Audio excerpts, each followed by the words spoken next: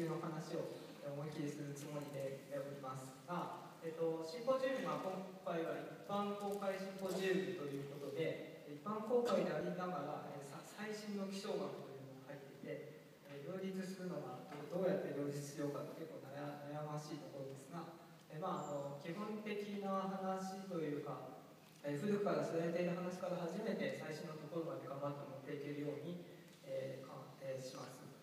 えで私のテーマは、まあ、なんか自分でハードル上げちゃいましたけども、え私のテーマは熱帯から中高緯度今までの、え安田さんや米山さんが研究されているような熱帯の部分から、え中高緯度に、えどのようなプロセスで影響が届くかということを中心にお話しえ、したいのですが、えーとまあ、話時間の都合上は東アジアの、えその夏に限定して、えー、お話しすることにしました、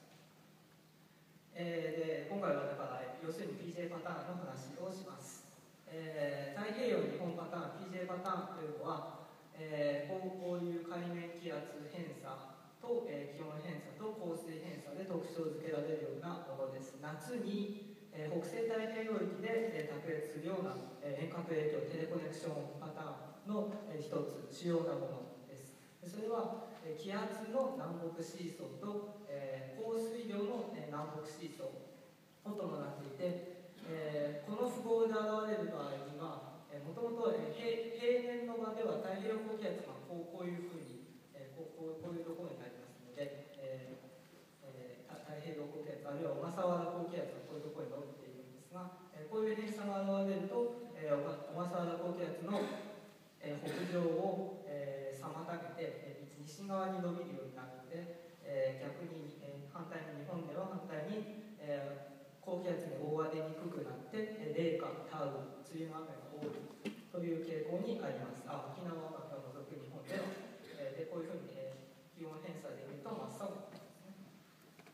で、えっと、逆符号で現れると、えー、日本、えー、まあ、九州以国では、えー、初夏で、え、雨が少ない、まあ、渇水になったり、え、しやすくなるというような、え、関係が、え、夏については知られています。えーとえー、発見された三田先生の写真も鑑定もできましたが、えー、私はお会いしたことは残念ながらありませんが、えー、2対1986、1987、えー、という論文で、えー、初めて提出されました。その具体的な影響は、えー、ざっと解析すると、まあ、左の図はさっきと、まあ、ほとんど一緒ですが、えー、真ん中が降水偏差で一緒ですが、えー、あ、そうそう、それで言わせました言わせましたえー、普通日本ではこの符号のものを正の PJ パターンと、えー、定義しますね、えー、熱くなる方を、えー、基準の PJ パターンとします。が、えー、中国ではえー、こっちの方を生徒にパターンとしてあの話がなかなか合わないんですが今日はあの今後の話の都合上、えー、こちらを、えー、日本が寒くなる方を基準に、えーえー、して、えー、お話します。あの、えー、北先生の定義では対ですし日本の研究所は多くの方は反対で、えー、定義されます。でえっとえー、でこの日本が冷夏になる方の PJ パターンが現れると,、えーとですねえ北日本を中心に、え低温と、日射の減少によって、え米の収穫量が、え低下する傾向があります、え米の、え生産はもちろんあの政策とか社会とかいろんな影響を受けますがハイパースピードかけて、え経年変動だけ取り出すと、えちゃんと優位に増加します、えそれから、えー、梅雨の雨が多くなって、まあ、特に中国、えー、長江ではえー、大洪水が、えー、起こります、えー、洪水が起こったりします。1998年の大洪水は昨年も、えー、洪水になりました。それからもう一つは、えー、夏の台風の、えー、発生数が、えー、減少する傾向に、えー、あります、えー、このこれ緑の方が台風の、えー、通過頻度ですが、えー、このぐらい、えー、減ります、えーと PJ パターンの1標準偏差に対して、えー、飛行値の、えー3割ぐらい減る、まあ、線形を仮定するとですが3割ぐらい減る計算になります。で,、えっと、でこれが冷夏の時の傾向で逆に、えー、フィリピン付近でこの辺で、えー、大陸活動が活発な夏は日本は、晴れて暑くなりやすくて渇水とそれから台風が頻繁にやってくると、え夏の台風がよくやってくるようになるということがあります。え具体的な例は、え左が1993年の大冷夏の時ですね。でこの時の、え気圧分布はフィリピンあたりで高気圧偏差日本のとこで低気圧偏差で、え降水もまあちゃんとそういうふうになっていると。この時大冷夏になって、え米の輸入が解禁されたりとかですね。だから、え2004年の初夏は、2004年は、え PJ バターだけが原因ではないですが、まあ、なんとなくこの辺でフィリピン沖で雨が多くて日本のところで雨が少なくて、えこういうふうに、低気圧偏差偏差が現れると。で日本は初夏になったということもありました。それで、えー、PJ パターンの古典的なイメージでとこれ安田さん、えーと、安田さんはなかったかな、えー、米山さんの発表にありますね、えー、新田さんの HK87 の、え、有名な論文の、えー、有名な模式図 PJ パターンって言ったらもうシーズン大体これが出てくると思うんですが、えー、この時のイメージは先ほどまでの PJ パターンと符号が反対なんですけども申し訳ないんですが符号が反対です。この時の PJ パターンのイメージというのはフィリピン沖で海面水温が高いとその上で対流が立ってそれによってロスビー波が冷気されて中古色に電波すというイメージでした SST 海面水温が高いとそれに応答して石油対流がその真上でできてその結果としてロスビー波が電波す。というイメージです。これは、えなんとなく、えまあ、私の想像では、え冬の ENSO で PNA パターンでいくとなんとなく似ているような気が、えするんですが、え P、PNA は Pacific North America PJ はパシフィックジャパンですから、えまあ、なんとなく SST があると対流活動が活発化してそこからえーえー、ロスビー波が出ていて、えー、中高緯度に遠隔影響を及ぼすと。これが、80年代、あるいは90年代ぐらいまでの、イメージでした。えー、で、えっとまあそ、そういう DNA パターンの研究も、えーまあ、とかがの成功などが相まってだと思いますが、今世紀初めぐらいまでは熱帯では海面水温が上昇するとその上で石油大量が活発になる海面水温が低下するとその上で石油大量が活発になるというイメージが、え熱帯については、えー、思うか考えられてきていたわけです。でところが実際には夏に熱帯北西太平洋を見てみると南シナ海とかフィリピン海沖で、えー、を見てみると統計的に見ても、えー、対流活動と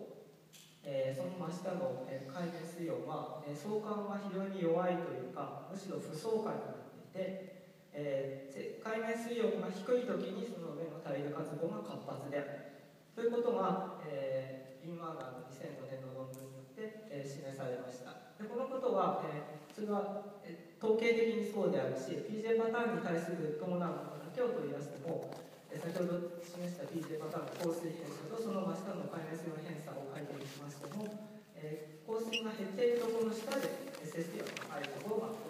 の辺にちょっとだけ低いところがあって、まあ、方法本当は無視できないかもしれないんです。がという話は後でします。が、まあ、多くの部分では、えー、海面水温が、えー、高いと。ということは、えーえー、三田さんが示されたイメージとは、えー、異なっていて実際には南シナ海からフィリピン東沖の、えー、石油大陸活動偏差というのはその真下にある、えー、海面水温偏差への直接の応答ではどうやらなさそうである、えー、ということが、えー、見出されました。で、えーとまあ、私自身は、ね、2000あこれあこれ私たちの論文にしたんですね、えーと、私自身は学生の時にそういう研究をしていて、えー、でこれを見たあ PJ パターンというのは大気の内部変動で海面水温と関係ないないんだというかですねなんとなくそういうイメージを、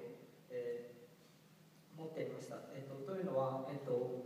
えー、季節予測可能性、えー、という問題で一般に、えー、大気の、えー、多くの方には社会成功だと思いますが一般に大気の上乱というのは海洋とかそういう外部からの持続的な強制がないと大気だけではえー、2週間以上持続しないことが知られています。それが、ね、天気予報が、えー、週間天気予報の、えー、限界を、えー、決めているもの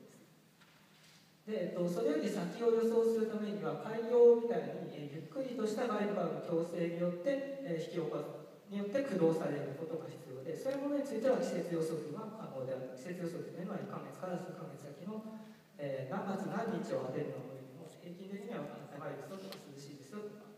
予報するものですね。で PJ パターンを研究していた時にその真下の解明するような偏差と、えー、正の相関を大陸活動が持っていないので、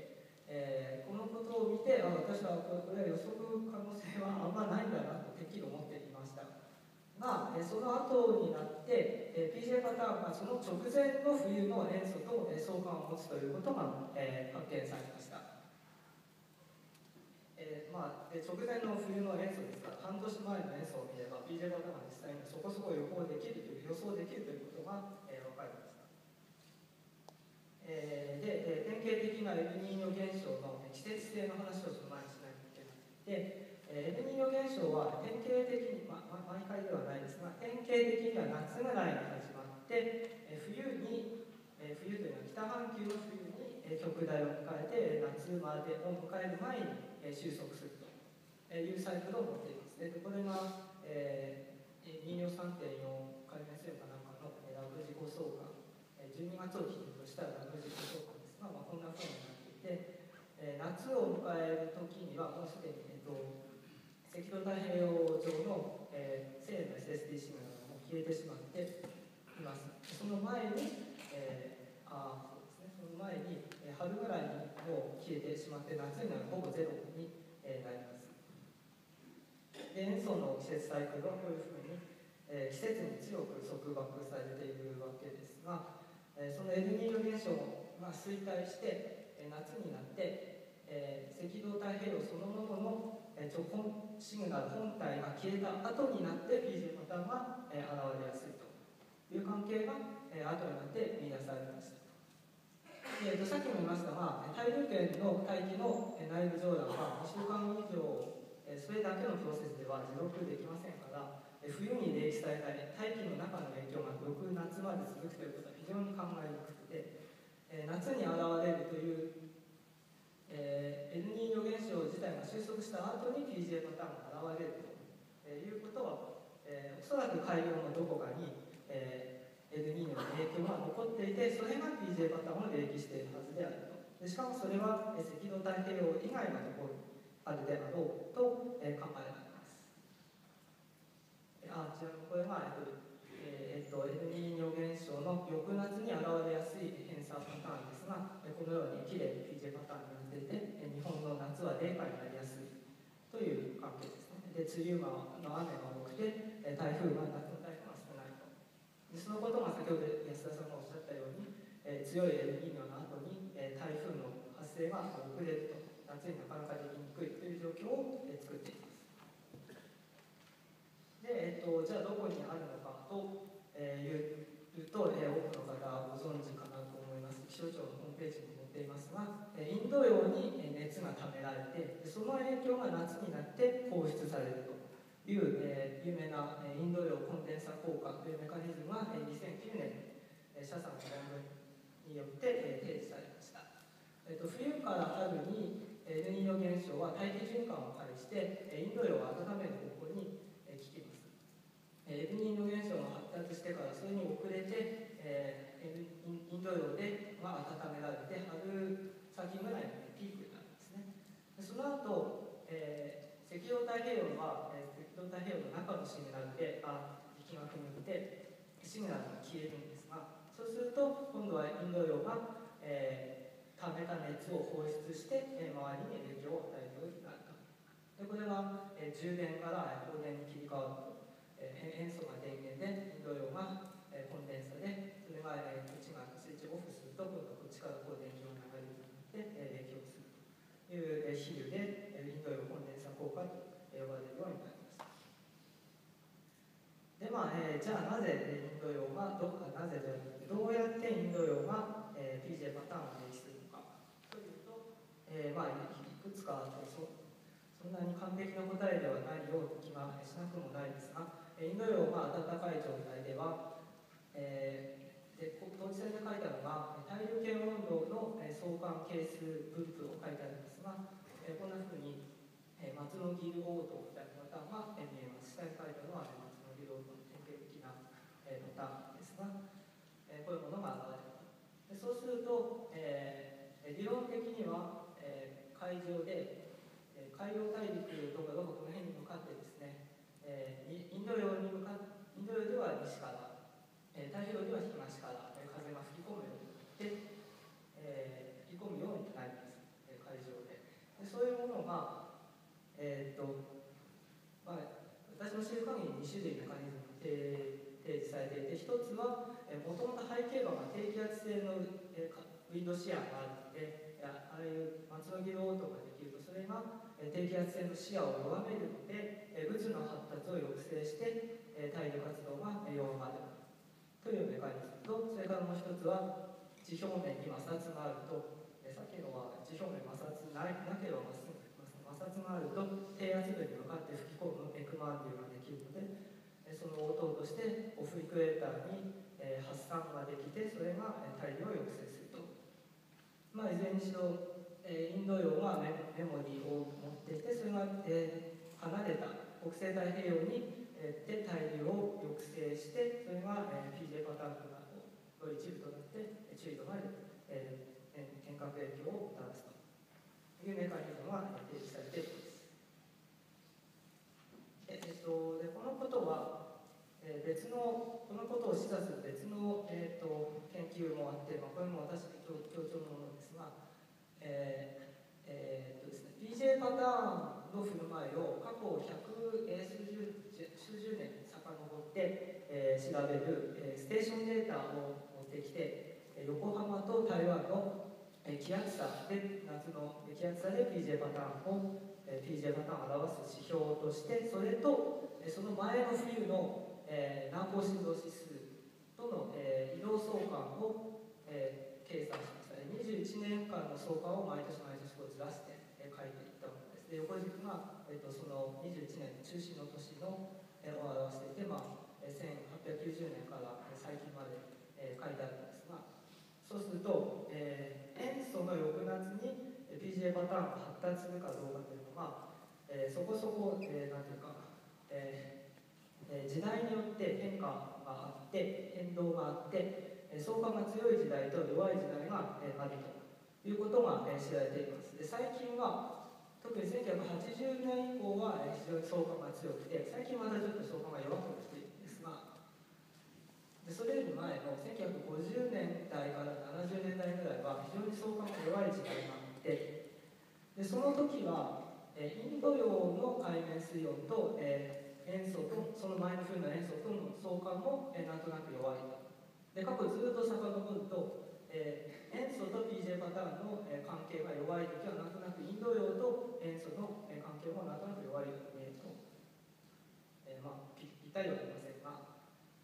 でこのこと自体も、えこのことはまたインド洋が、え PJ パターンに影響を、媒介する重要な役割を担っていることを、え示唆していますそれで、えここまで、まあえ2009年からぐらいま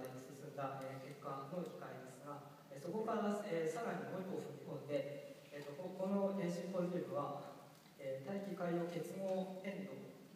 というテーマなわけですが、ここまでの話では、塩素からインド洋の海面水温に影響が出て、それが PJ パターンを影響する海洋から大気交通庫で、え結合変動になって長かったんですが、え一応結合変動という、えテーマのシンポジウムなので、え結合変動という理解を、えー、最近提示されつつありますので、その話をします。つまり、えっと、この一方通行のメカニズムもし塩素が影響しなかったらあるいは塩素が発達しなかったら、えインドこういうつながり自体は、なくなってしまうことになるんですが、え果たして本当にそうだろうかということを、考えるために、大気海洋結合モデルを用いて、え塩素を消してしまう、脳塩素実験というものを、やりました。で、えっと、用いたモデルは JFDL のモデルで、えっと、この辺の熱帯太平洋のこの辺だけ、えー、海面水温変動を抑制して、えー、モデルの気候値に持っていくように強く緩和して塩素を消してしまってそのような状態で PJ パターンが海面水温とどういうふうに相互作用するのかということを考えました。えー、あとちょっと終わるかな。で、えっとえー、でその無塩素実験で現パターンとそれに付随する、えー、海面水温偏差を書いてみると、えー、こういうものが出てきます。あえー、当地線で書いてあるのが大陸圏温度と陰影で書いてあるのが降水偏差で、えー、下に海面水温と海上風偏差を、えー、書いてあります。そうすると、えーと、塩素の影響がなくても、えー、PGA パターンは、えー、こんなふうに、えー、赤道大流圏の小ケルビン波的なシグナル松の切れ的な、えー、熱帯大流圏小を伴っていてしかも、えー、その時インド洋の海面水温が高いと。いう状態が見られます。でこれでは塩素は消していますから塩素の遅れ影響ではなくて、えー、ではないということが、え、言えます。でその時海上風を見てみると、えっと、西太平洋から北インド洋にかけてずっと東風が吹いています。ここで、えっと、対流活動が抑制されますのでロスビ応答で、えー、東風偏差がずっと西まで、え伸びていくわけですがこれが、え背景の本数の西風領域では背景風を弱めるあ風風速を弱めるように働くので蒸発が抑制されて海面水温を上げる。で逆に貿易風帯ではもともと東風ですから東風風速が強化されて、えー、蒸発を強化するので海面水温が下がると。いうシグナルが見えます。で、えっと、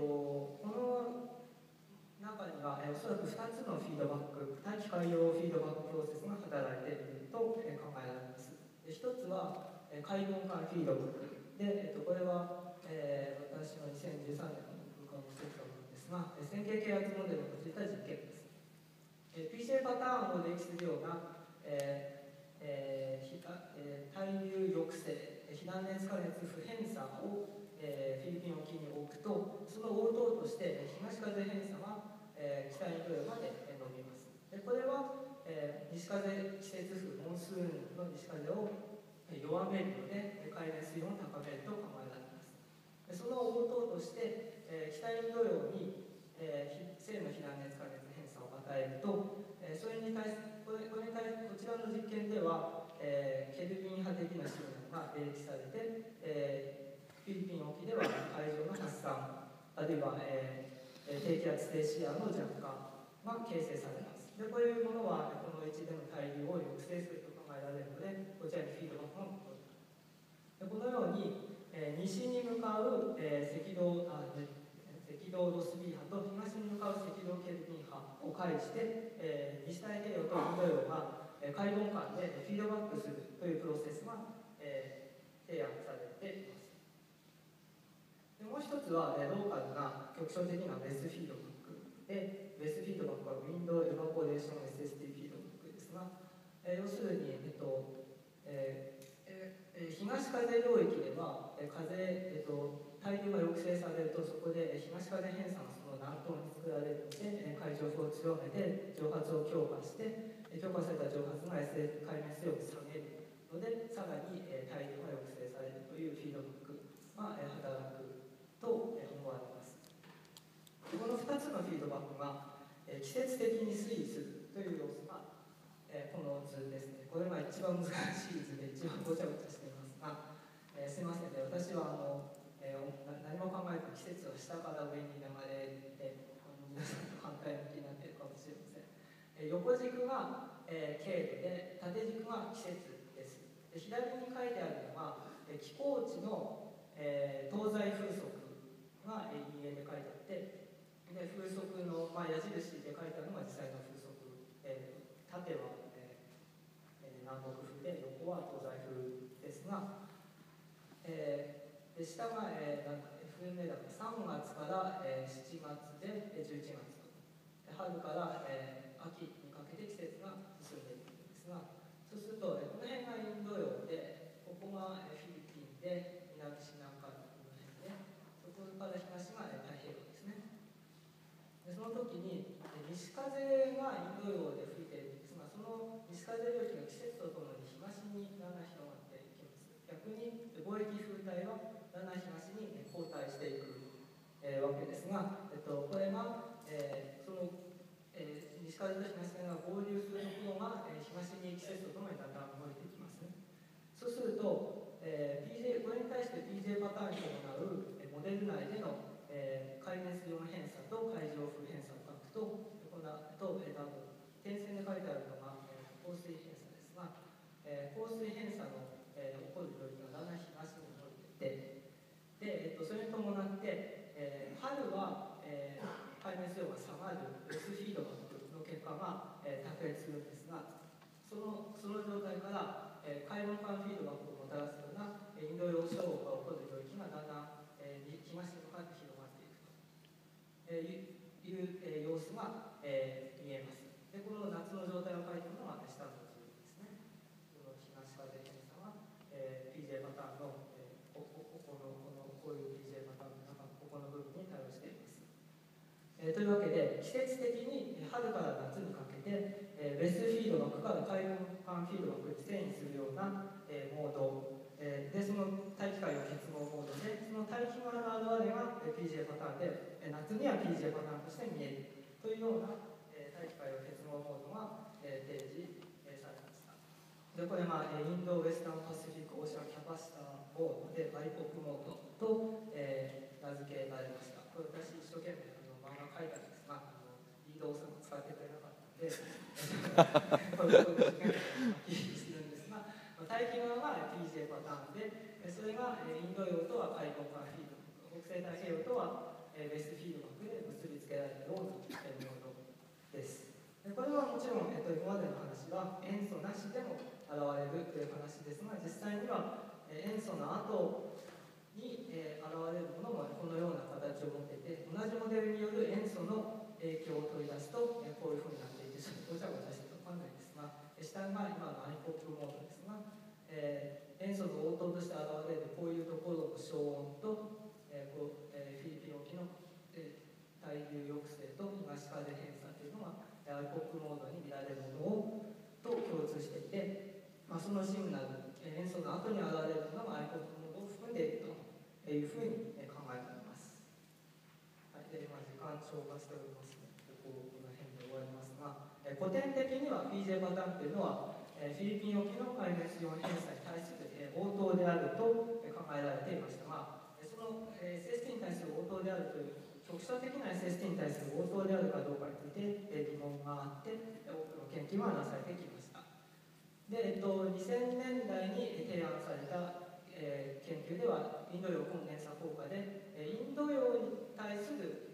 えー、大気の応答が PJ パターンであるでそれは、えっと、由来が大気変動に対して海面水温を境界値として与える境界値問題だったわけですがそれが今、えー大気海洋結合変動の一部として捉えるとそういう意味では大気海洋結合系に対する初期値問題として、えーえー、と塩素衰退後の異常、えー、気候変差を、えー、理解しようという、えー、フレームワークが、えー、最近は提案されていますでこう考えると、まあ、塩素によってこれを冷気してもいいし塩素以外例えば MJO でいくとかというものから、えー、このまま冷気する可能性もあるねと、まあ、本当に何かあるのか分かりませんが、えー、そのように、えーえー、最近は進んできております。えー、以上です。どうも。はい、どうもありがとうございました。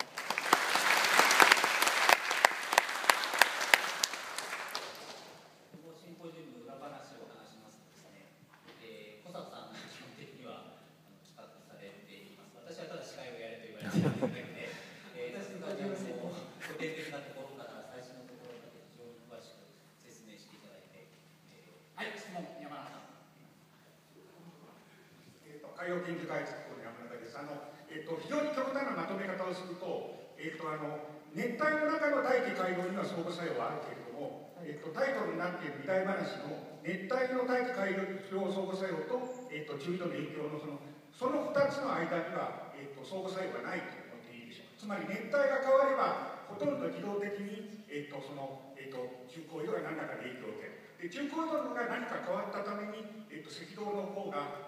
影響を受けるあるいは赤道から伝わってくるプロセスが変わるというようなことはありませんか、えっと、中高緯度、えっと大えー、基本的には今話したフレームワークは熱帯の大気から中高緯度の大気に、えー、遠隔影響する話を、えーまあ、今日はほとんど省略して全然話さなかったんですが、えーということは、えーその中ではもちろん、え熱帯から中高緯度と中高緯度から熱帯への影響相互作用というものは私はあると考えます。一方で、えー中高緯度の海洋の影響が PJ パターンを介して熱帯に影響し得るかどうかは、えー全く分かりません、えー私は全然研究したことがないです、えーはい。まずだからあれですね、次の中村氏中村さんの講演のところまで聞いてから話を聞けばいいんですけど、あの両方をだからあのちゃんとあのか解明しないと本当とかわからないという。はい。まあまあ、もちろんまだ進行中のところです完全に解決したわけでは決してないです。多くの人がもっと研究してくれるといいなと思っています。はい、はい、ま前田さんお願いします。前のちょっと待ってください。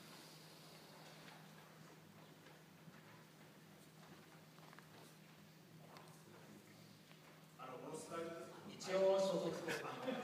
すいません、了解します。このスライドですけど、あれください、ちょっと名前。少々の前の、はい。すみません。IPOC っていうので、えっと、えっと、塩素から北インドっていうのがありますけど、塩素エルニーニョの後に、フィリピン海のところで春先高気圧になって、はいで、貿易宇宙を待って、はいという、その、そこの最初にフィリピン海の、あの、あ、はい、春先の高気圧っていうのが、はいあ間をつなげるっていうのもあるんですあ、ありえますね。すみません、それ私書くべきでした。えっと、おっしゃる通りで、えっと、これ北インド洋の海面水温偏差と PJ パターンと、あ私口で言うつもりでしたので言い忘れたんですが、実際にはえインド洋と北西太平洋の海面水温の差がえ PJ パターンを駆動すると思えば、どっちかだけである必要がなくて、えー両方聞いても良いと思います。ありがとうございます。はい、もう一件ぐらい質問を送っていきます。はい、後ろの方、ちょっとじゃあ、後ろの方。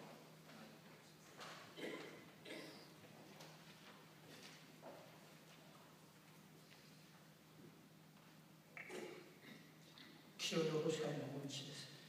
あの私の後はあの新田剛さんとですね議論したそういう世代なんですけども、あの今日のお話の印象としてはですね、あの新田さんの頃は結構その海面水温が高くてそこで延直流があって雲が大陸活発だなんか水蒸気に結構メインの役割のような感じを受けたんですが、今日のお話聞いてるとあまり水蒸気が出てこなくて。そういう点ではもうドライモードでも同じようなことが起こって、まあ水蒸気がそれを強めるぐらいのことなのか、やはりもう少し水蒸気の影響というのは、まあ、あの大気ガスが気がいたりその辺は、えー、いかがでしょうか。えー、ともちろんですね水蒸気積雲対流に対,、えーに対して水蒸気フィードバックが働いてでそれが、えーなんていうか応答を強化するというかほとんどそれによって振幅が決まっているというのは、ええ事実だと思いますだから水水蒸気の話確かに全然しませんでしたけどあの、えー気象学会のせいで大気の話ほとんどしなかったんですが、えっとえーほほぼしませんでした。が、えっと実際には、えー大気の中だけで見れば、えー水蒸気フィー、えー対流フィードバックが働いて、それが、えー PJ パターンを形成しているというのは、えー確かであると思います。でその、えー一つの表れは、えーこういうふうにケルビン波的な応答が、これじゃない、か。えーえーこれでいいかな、ケルビン波みたいなものがこう見えても、実際には、えーこれこれであれば、えーっと、なんでしょう、対流数の偏差は南北に両方できているわけですが、実際にはほとんど北半球側にしかできなくて、えーもう一応南半球にもあるはあるんですが、ほとんど北半球側にしかできない。でそれは IDCG がもともと北半球側にあって、それがフィードバックを働かせた結果、えー北半球側の応答が非常に強く現れると。えーその結果を私たちは見ていると思いますので、水蒸気フィードバックはもちろん、えー本質的だと思います。はい、どうもありがとうございました。それでは、